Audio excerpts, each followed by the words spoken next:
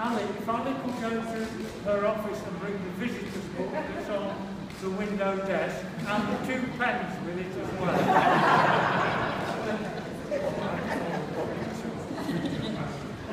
In the meantime, Mark, if I could ask you to unveil the flag we have in honour of your visit, I'd be delighted.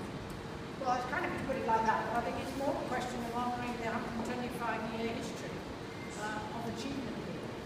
And that requires a certain because I'm sure though the attitudes were very different 125 years ago, the value of a place like this uh, is still absolutely critical. So thank you very much for sticking with it, and particularly those who supported uh, this particular uh, establishment for so many years.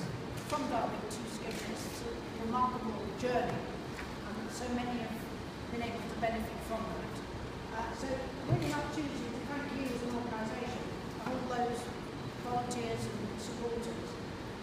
organisation,